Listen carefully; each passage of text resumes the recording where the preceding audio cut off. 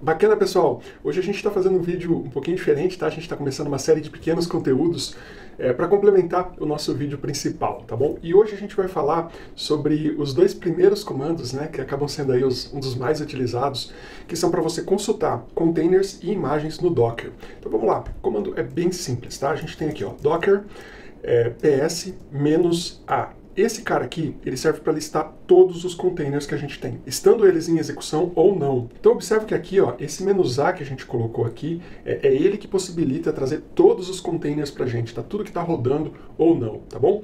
Então, olha aí, o que ele trouxe para a gente? Trouxe um container que está é, de pé, né? Ele está rodando há dois dias e trouxe um container aqui que é, saiu. Ele foi aí finalizado, tá bom? Então ele não está mais em execução, tá? Ele saiu.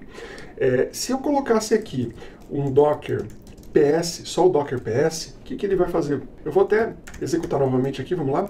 Docker PS, eu limpei a tela, tá? Para facilitar a leitura. Observe que aqui, ó, ele trouxe para a gente só o que está de pé, tá bom? Por quê? Porque eu não coloquei o menos "-a". O menos "-a" significa all, tá? Todos. É, e aí um outro comando que é bem útil é o Docker Images, tá? Eu vou limpar novamente aqui.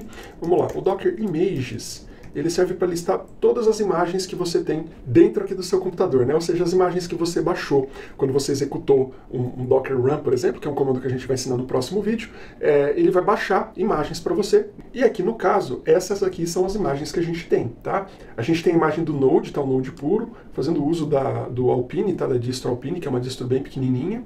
É, e aí a gente tem aqui de um microserviço que eu implementei, eu comitei ele, e a gente vai ter vídeo também explicando esses outros comandos, tá bom? Então adicione aí na sua biblioteca de vídeos como fazer listagem de containers e como fazer listagem de imagens. Esse vídeo com certeza vai te ajudar aí no futuro. Bacana? Um super abraço e até a próxima!